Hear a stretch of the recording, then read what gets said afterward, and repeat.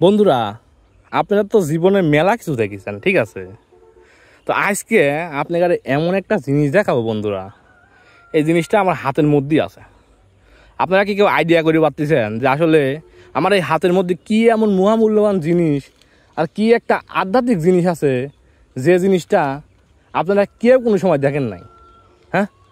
আপনারা কি কেউ আইডিয়া করে পারবেন যদি কেউ আইডিয়া করতে পারেন, অবশ্যই কমেন্টে জানাবেন। আপনাকে অবশ্যই দেখাবো আমি জিনিসটা। তবে এই জিনিসটা নিয়ে ইদানিংকালে এত হুড়াহুড়ি, এত মনে করেন যে আলোচনা, সমালোচনা, এত দাম, ঠিক আছে? কিন্তু সেই দামি জিনিসটার একবারে মনে করেন যে মানে রিয়েল ভার্সন অর্থাৎ যাক একটা আনকমন ভার্সন ঠিক আছে?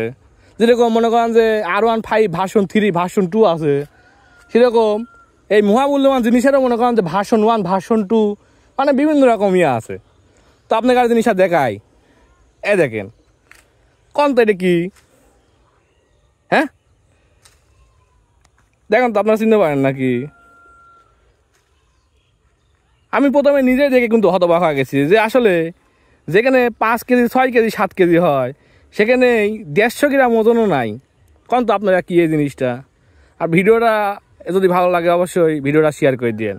নাকি? সবাই ভালো থাকেন।